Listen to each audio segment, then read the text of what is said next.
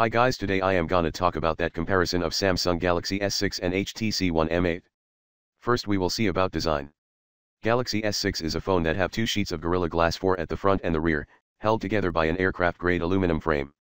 It's also quite sleek at 6.8mm, whereas the Note 4 is 8.5mm thick. HTC One M8 is of Android 5.0, HTC Sense 6 UI. Its dimensions are 5.76 by 2.78 by 0.37 inches and weight is 160 grams. Next thing is about display.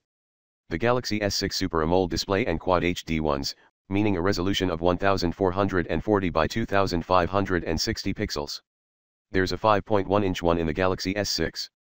Pixel density for the Galaxy S6 is 577 ppi and HTC One M8 comes with a 5 inch 1080p display.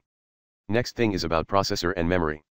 The Galaxy S6 features a 14nm octa-core chipset it is paired with 3GB of LPDDR4 RAM and a powerful ARM Mali T760 GPU.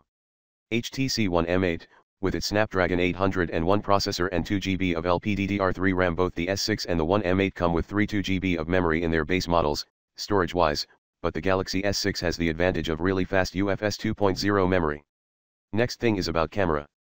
The Samsung Galaxy S6 has a 16MP rear camera. 16MP resolution will be accompanied by a wide, f1.9 aperture now. The Galaxy S6 has a 5MP selfie shooter.